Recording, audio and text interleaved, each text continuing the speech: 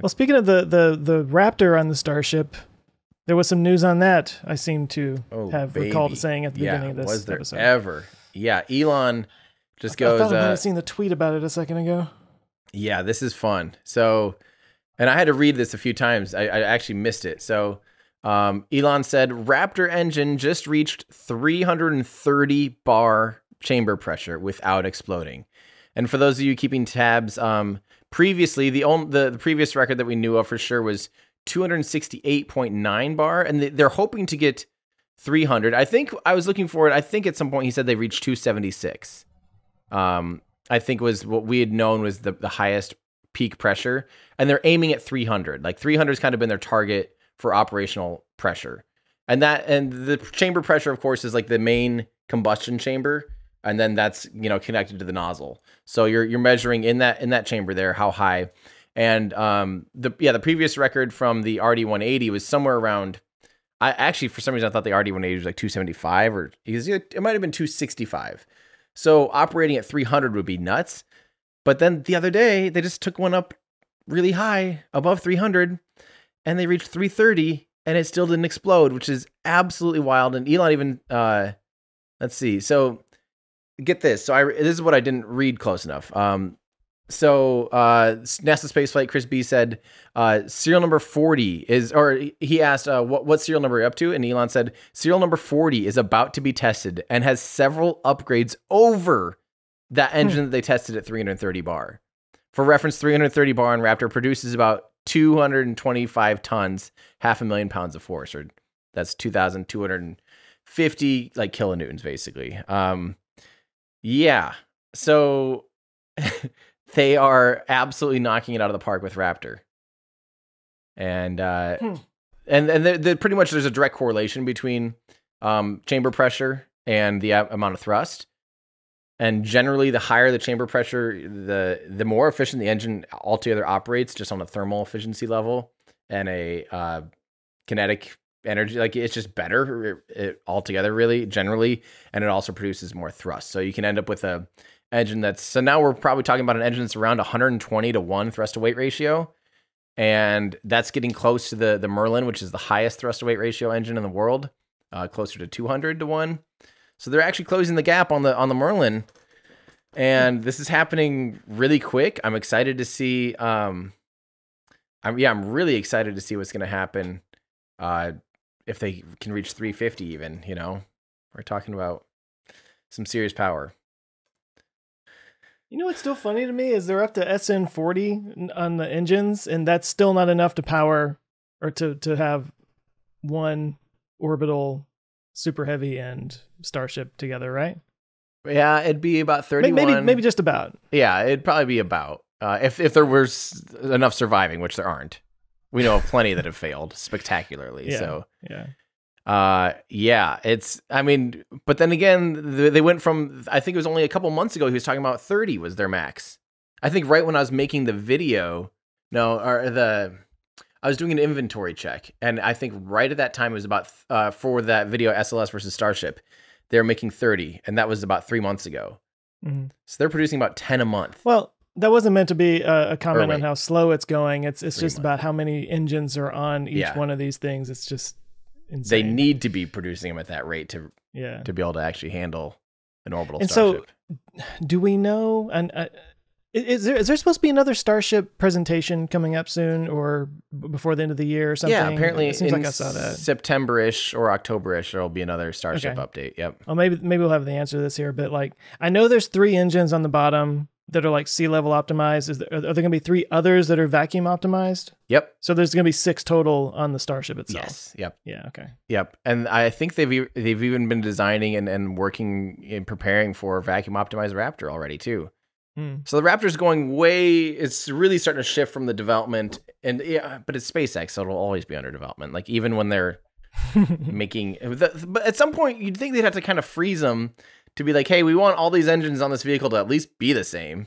So we're not like, oh wait, that one code it a little different. You know, this one, oh, make sure you turn that one up a little bit at this point because it actually performs totally different than that one. You know, like, yeah, I yeah, think, yeah. I don't, wonder if I don't know give what them- that's gonna I be wonder like. if they give them like pet names and stuff. You know what I mean, so they can refer to them and remember.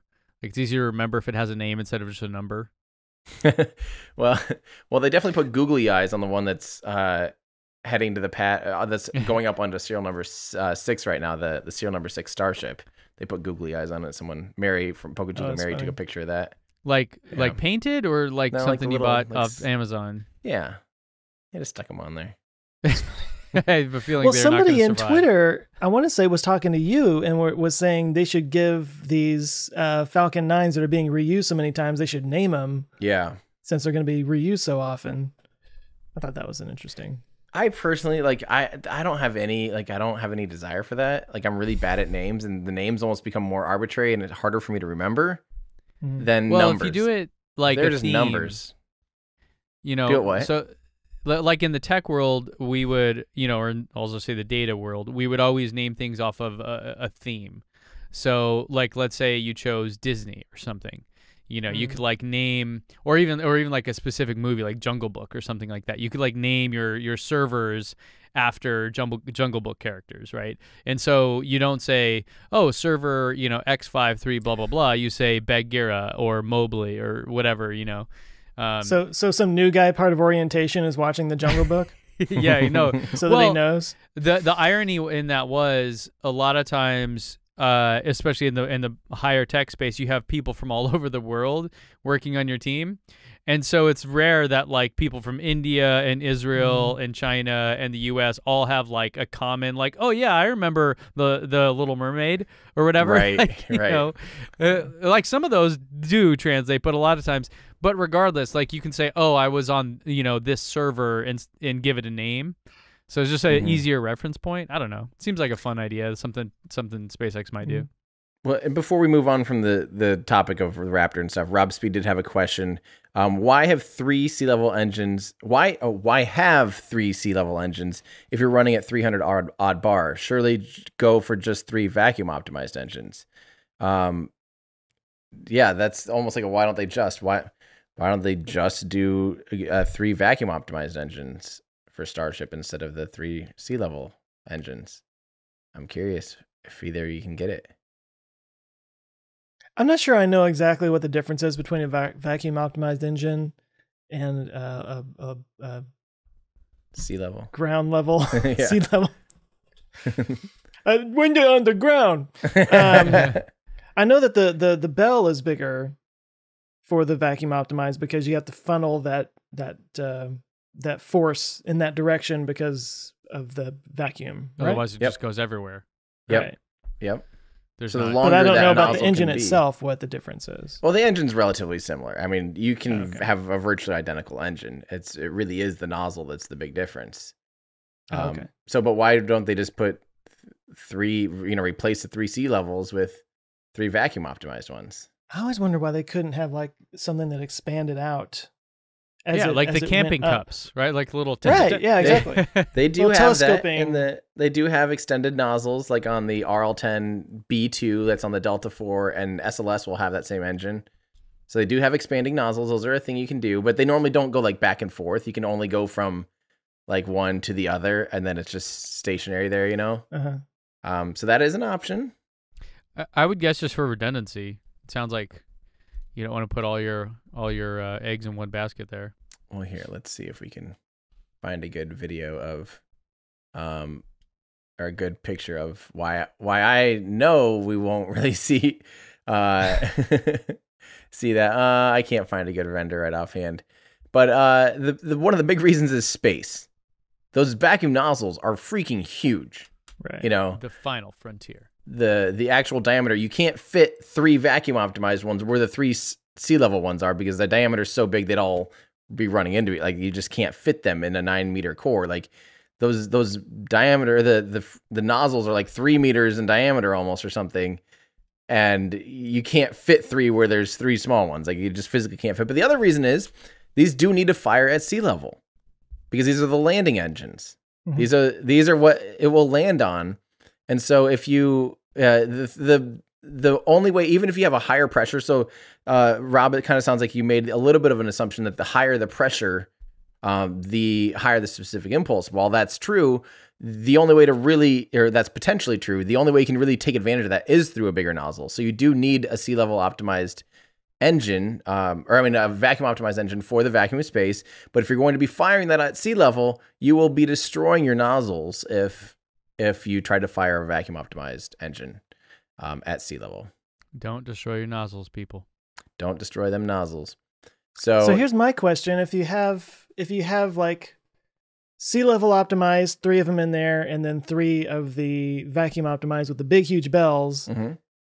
are they like up deeper in there so that the the bell level is the same on all of them, I think, or else you would have like s- some lower than others, and you'd wind up flaming each other or something.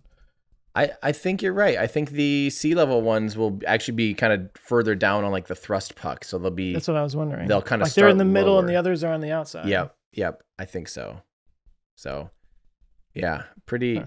pretty crazy stuff. But um, yeah, that's Well, so do you think this next one, SN6, are they still going to do just the one engine, like 150 hop thing, or are they going to put three on there? From what I understand. It sounds like they're literally going to repeat exactly what serial number five did, but Sure. just try to optimize the sequences and make it so Mhm. it's not just this like that it doesn't take months. Like I think they're trying to do it immediately. We're already seeing road closures for another hop in like a week. Mhm.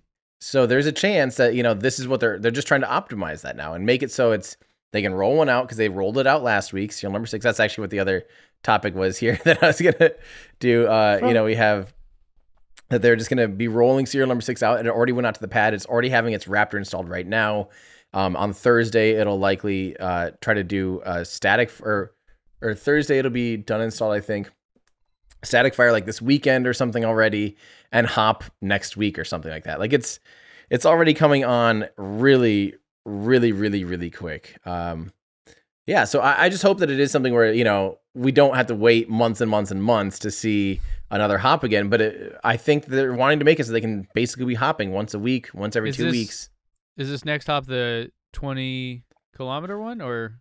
no that's uh, it'll whatever. still just it'll basically repeat exactly what serial number five did Mhm.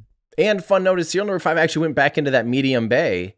So they're wondering, you know, people are kind of saying, oh, maybe they will actually reuse it. So there's a chance that who knows, maybe serial number five will do the same thing again. Maybe we'll get three Raptors installed. You know, who who really knows at this point? But um, yeah, Hey guys, thanks so much for watching this clip from our show. If that's just not enough for you and you want to watch the full episode, you can go to olfpod.com slash YT. And if you want more from us, you can consider becoming a Patreon member. You'll get early access to episodes. You can join our awesome community. You can actually watch us record live and get your name in the credits by going to olfpod.com slash Patreon. So thanks everyone for watching. Check back every Friday for new clips here and new episodes on the main channel. Thanks, everybody.